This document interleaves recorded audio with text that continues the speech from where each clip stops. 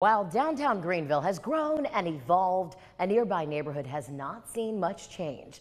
The city is now working to renovate the area, but they want the changes to be driven by the people who live there. Our Chloe Salsameda has more on the plans.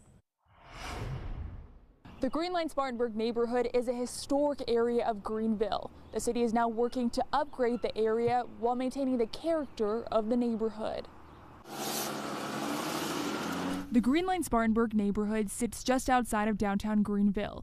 On Tuesday night, designers laid out ideas for how the area can be revamped. All these houses have no driveways.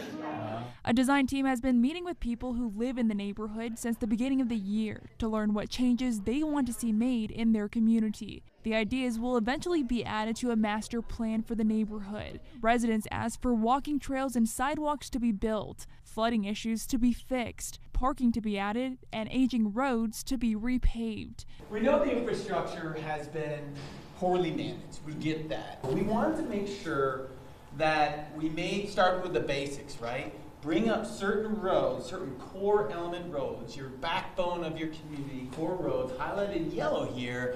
Bring, just bring them up to city standards. One of the biggest requests was for more affordable housing to be created. We are in such close proximity to downtown that there is this fear, right? That, you know, not only gentrification is going to happen, but also the prices are going to be out of people's reach. No net loss of affordable housing units is going to be our primary goal and hopefully it is an increase in affordable housing units. Elaine and Theo Nagelmakers have owned an affordable home in the neighborhood for six years. They hope the city can create more housing for their neighbors. I'd like them also to have the same opportunity despite costs rising. Mm-hmm. So I think it's very important. So I very much support all the effort to have more affordable housing in the city. The design team says they plan to present a final master plan to City Council in the fall. City Council would then need to approve that in order for the plan to be adopted.